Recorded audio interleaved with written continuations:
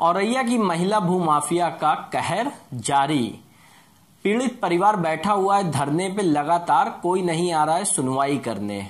आइए पेश है आपके सामने, एक स्पेशल रिपोर्ट से ज़मीन खाली करवाओ क्रिमिनल हिस्ट्री सीटर एवं वकील व शिक्षा माफिया व भू माफिया द्वारा ज़मीन हड़प जाने पर सदमे में जीता परिवार द्वारा आज यहाँ धरना स्थल पे आ उतरा है।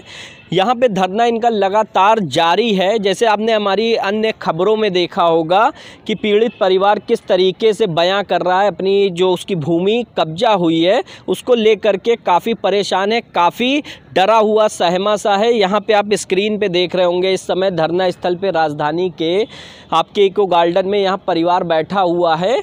और आइए इनसे पूछते हैं कि किन समस्याओं को लेकर के और अभी तक के क्या इनको यहाँ पे बात इनसे शुरू हुई है खबरों को लेकर के बताइए हमारे साथ काफ़ी दिनों से हम्म। बहुत बड़ा षडयंत्र चल रहा है जिस षडयंत्र के तहत सेंट फ्रांसिस एकेडमी की जगह स्थित मौजा आनेपुर पर अतिक्रमण किया गया हम्म। और हमारे छोटे भाई शिव कुमार की पत्नी कल्पना देवी उनकी बड़ी बहन साधना देवी और उनके हक हकूक़ों पर ये भूमाफिया वकील क्रिमिनल हिस्ट्री सीटर और, और प्रीति देवी इन तमाम लोगों के द्वारा ऐसा कूट रचित षड्यंत्र रचा गया जिसके तहत सारे हक अधिकारों से वंचित किया गया और मुझे 302 में फंसा करके आज आठ दस साल से दर दर की ठोकरें खानी पड़ रही हैं।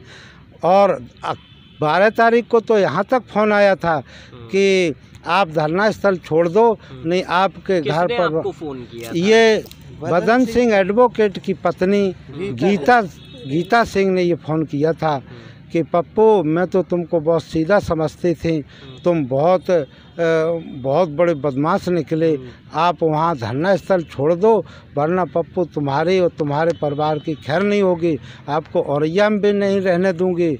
तुम अभी जानते नहीं तुम्हारे चाचा कैसे आदमी और हैं। मैं तो सीबीआई अभी- से भी निपट लूँगी। अच्छा। हाँ यहाँ तक तो बोला। ये आपका अभी प्रशासन द्वारा क्या अभी हाल ही में कोई फ़ोन या ऐसा कुछ आया आपको? हाँ आज औरैया कोतवाली के सीओ का फ़ोन हो अथवा एसओ साहब का फ़ोन हो हम्म, फ़ोन आया उन्होंने ये दिलासा बंधवाई कि आप यहाँ आ जाओ हम आपका सब निपटवा देंगे। हम्म। नहीं तीन सौ दो का मुकदमा ख़त्म करा देंगे। अच्छा मुकदमा ही खत्म हाँ करा देंगे। तो मैंने कहा तीन सौ दो के मुकदमा ख़त्म करने से क्या होगा? इन षड्यंत्रकारियों ने हमारे तो ऊपर को हमारे भाइयों के आश्वासन दिया आपको? कोई नहीं भूमि के ऊपर अभी कोई आश्वासन नहीं है। एक लेखपाल महिला जो अंतोल मौजा की है, उसका फ़ोन आया था। वो कह रही थी कि हमको ये वसीयत की कॉपी मुहैया कराई जाए, फिर मैं इसमें विवेचना करूँगी। और आनेपुर मौजा के संबंध में तो अभी तक किसी अधिकारी ने मुँह ही नहीं खोला। चूँकि आनेपुर मौजा शहर के बीचों बीच का मौजा है। एकेडमी चौराहा सेंट फ्रांसिस एकेडमी चौराहा है। वहाँ बेश कीमती ज़मीन है जिसमें एक एक प्लाट की सरकारी कीमत पचास पचास लाख और अस्सी अस्सी लाख है। ये सरकारी लिस्ट देख ली जाए तो उस बेशकीमती जगह पर भूमाफियों की नगर नज़र जब लग गई तो उन्हीं लोगों के सह पर मुझे 302 में फंसाया गया और 302 में फंसा करके फिर कूट ढंग से हमारे भाई से षडयंत्र के माध्यम कहीं सात लाख रुपए लिए, कहीं दो लाख रुपए लिए गए, कहीं धमकियाँ दी गई। रे काछी, एक भी अक्षर की कहीं कोई कार्रवाई कर पाए तो तुमको दो एलजी के नकार दूँगा तुमको इस धरती पर नहीं चलने दूँगा तेरा ये मकान तेरा मकान भसकवा दूँगा। तो ये सिर्फ़ बदन सिंह एडवोकेट की सह पर हमारे पीछे ये बहुत बड़े हिस्ट्री सीटर लगा दिए गए। नहीं ये हिस्ट्री सीटर मुझे कतई कोई धमकी देने वाले ही नहीं थे। हमारी किसी से कोई रंजिश लड़ाई नहीं थी।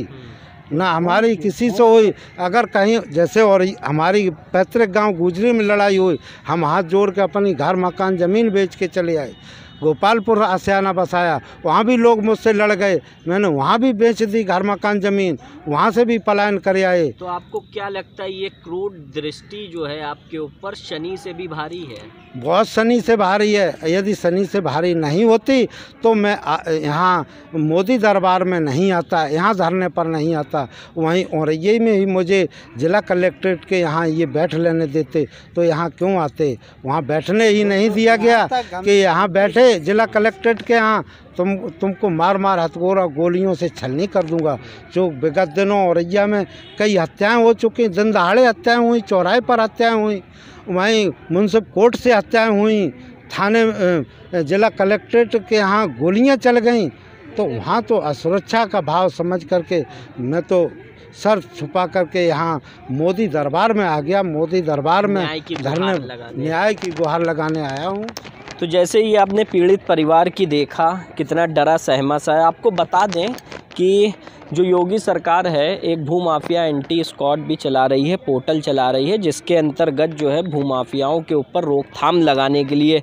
तो आप, मैं अपने कैमरामैन से कहूँगा, फिर से एक बार यहाँ पे दिखाएँ कि इन्होंने अपने जो बैनर पे लिख रखा क्रिमिनल हिस्ट्री सीटर एवं वकील व शिक्षा माफिया व भूमाफिया द्वारा ज़मीन हड़पने पर सदमे में जीता परिवार द्वारा। तो जैसे कि एक शनि की दृष्टि आज शायद भूमाफियाओं को साथ में लेकर के चल रही है कि शनि की एक बार दृष्टि जो है वो चली भी जाएगी, लेकिन शायद भूमाफिया की दृष्टि अगर किसी के ऊपर पड़ गई तो इसी लाचारी को लेकर के यहाँ पर जैसे परिवार आपको दिख रहा है, ऐसे ही कहीं आप भी ना हो तो आप इस खबर को शेयर ज़रूर करिएगा और मैं कमेंट बॉक्स में ज़रूर ये बात बताइएगा कि कहीं आपके आसपास भी ऐसी कोई घटना अगर हो रही हो तो हमें जानकारी दें और उस चीज़ से अवगत कराएँ। और अभी तक के अगर आपने हमारा चैनल सब्सक्राइब नहीं किया तो सब्सक्राइब कर लीजिए और इसको कमेंट बॉक्स में बताना मत भूलिएगा, क्योंकि ऐसी घटनाएँ आपके भी आसपास हो रही होगी तो कहीं ना कहीं आपको भी जागने की ज़रूरत है। इसी के साथ मैं अमित आपसे इजाज़त चाहता हूँ। धन्यवाद।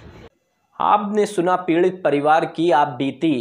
कितने दिनों से लगातार धरना स्थल पे बैठ के धरना दे रहे हैं? शनि की जो साढ़े साती होती है, वो तो फिर भी लोगों को बख्श देती है, लेकिन भूमाफिया का कहर उत्तर प्रदेश में लगातार जारी है। क्या उत्तर प्रदेश सरकार के ऊपर भूमाफिया उठा रहे हैं? सवाल, क्या योगी सरकार रोक पाएगी भूमाफियाओं का आतंक? तो आप ये हमारी खबर अगर YouTube पे देख रहे हैं तो चैनल को सब्सक्राइब करिए, लाइक करिए और जैसे कि हम आपको हमेशा बताते हैं कि आपके कमेंट हमें बहुत भाते हैं तो आप कमेंट करके हमें ज़रूर बताएँ। अपने आसपास की कोई भी घटना हो रही हो तो हमारे डिस्क्रिप्शन बॉक्स में आपको एक नंबर मिल जाएगा हमारी साइट भी मिल जाएगी। तो उसके ऊपर जा करके आप अपना रख सकते हैं विचार। और अगर आप इस वीडियो को फेसबुक पे देख रहे हैं तो उसके ऊपर आप जानते हैं कि पेज को लाइक करेंगे तो सारी खबरें आपको मिलती रहेगी। तो इस पुनीत कार में देरी ना करिए, तुरंत हमारे चैनल को यूट्यूब पे और फेसबुक पे लाइक कर लीजिए सब्सक्राइब कर लीजिए, जिससे आपको हर खबर सही समय से हमारी मिलती रहे।